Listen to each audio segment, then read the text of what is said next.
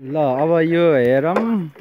यो चाहिँ अब हाम्रो ग्राउन्ड बार्न भनेर यति खटिरहनु भएको छ भाइहरू हाम्रो यो प्रथम जागरण कप भलिबल प्रतियोगिताको लागि। अब हाम्रो ओमे बाजे हाम्रो दिपक भाइ छन्। तल अब यो चुरे भाइ अब खेल संयोजक भयो त्यसपछि हाम्रो भुवन। भएर अब यत्रो हाम्रो सानो कर बाजे पनि आछन्। काम गर्न भनेपछि अर्दीको भाइहरूलाई कसले जित्छ र यति खतेर लाग्नु भएको छ। अब सिङ्गो कार्यक्रम संयोजक हाम्रो मनोज यता हुनुहुन्छ।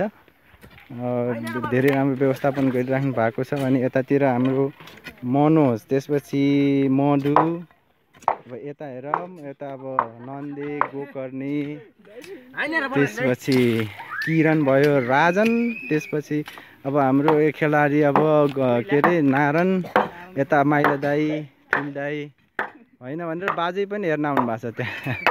यता मनोज पुन अर्को यतातिर फेरि गोपालको हाम्रो टिमले यसरी बाँस बोकेर यति दुःख गरेर हामी यो प्रथम जागरण कपलाई भव्य र सभ्य तरिकाले सञ्चालन गर्नुको लागि बहुत मेहनत र बहुत खटिरहेका छौँ।